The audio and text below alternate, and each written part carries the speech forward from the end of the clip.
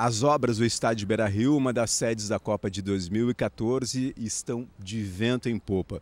E não é eu que estou dizendo isso, é o coordenador aqui do comitê, uh, gestor da Copa do Rio Grande do Sul e também secretário de esportes, Calil Sebe.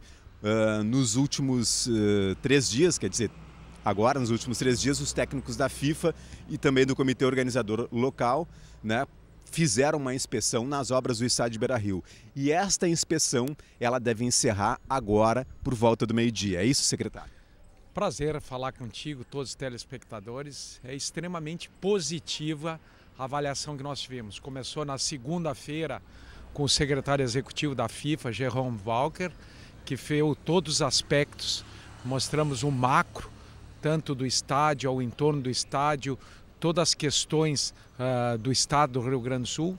No dia seguinte, ontem, nós tivemos 46 técnicos que chama Special Tour. É um tour especial que faz por área específica, a área da saúde, a área da segurança pública, a área logística, infraestrutura, tecnologia da informação e que bom quando vem o pessoal de fora, os técnicos, com checklist e aprovam o trabalho que nós estamos desenvolvendo. Então a gente fica muito feliz uh, com o reconhecimento daqueles que estão analisando tecnicamente. Quem analisa tecnicamente com o seu uh, a lista das necessidades nos avalia positivamente está valendo não o secretário Calil, o governador Tarso, está valendo o Rio Grande do Sul e a sociedade civil organizada e a prefeitura de Porto Alegre e afinal de contas a todos nós gaúchos que queremos fazer uma das melhores copas do mundo. Secretário, esta é a quarta visita dos técnicos aí da FIFA e também do comitê organizador local. Neste momento, o, o que, que, eles, que tipo de inspeção está sendo finalizada lá? Agora está encerrando uma das partes mais importantes, que é o gramado, o palco do espetáculo.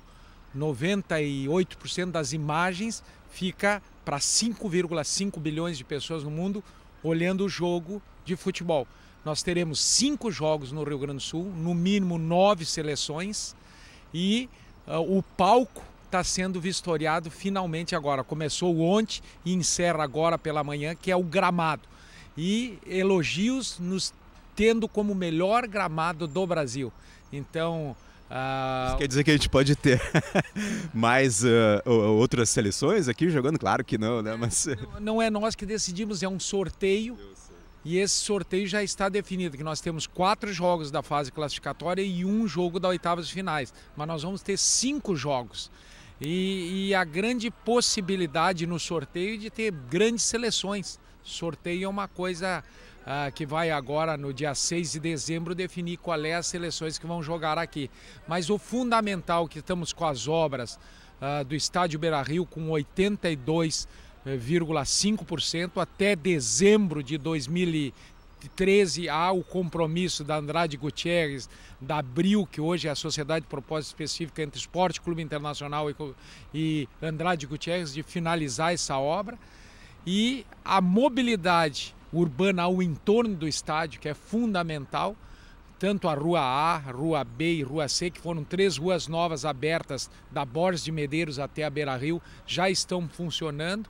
E agora nós vamos humanizar e urbanizar uma parceria governo federal, prefeitura de Porto Alegre, governo do estado, Esporte Clube Internacional, urbanizar ao entorno do estádio Beira-Rio, que é o estádio oficial dos jogos. Agora, secretário, o senhor disse que o gramado do Beira, do Beira-Rio vai ser uh, um dos melhores do país. Isso quer dizer que vai ter seleção aí querendo provar um pouquinho desse tapete verde aí, vai ser um pouco difícil. Né? Acho que é o legado que o Rio Grande do Sul, dois campeões do mundo, Grêmio Internacional, uh, essa vontade do povo gaúcho pela força da sociedade e a paixão, nós ter dois estádios como a Arena do Grêmio Futebol Porto Alegre, que já está pronto, e agora o Beira Rio, isso mostra a pujança de um povo que trabalha e um povo ordeiro.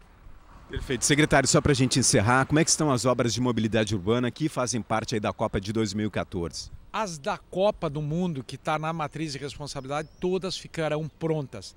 E lógico que além dessas obras, uh, tem o pacto, uh, e esse pacto uh, de aceleração do crescimento e mobilidade das cidades. No decorrer de 2014, 2015 vão ficar prontas, mas as que são específicas para a Copa do Mundo, que são da matriz de responsabilidade, todas estarão prontas.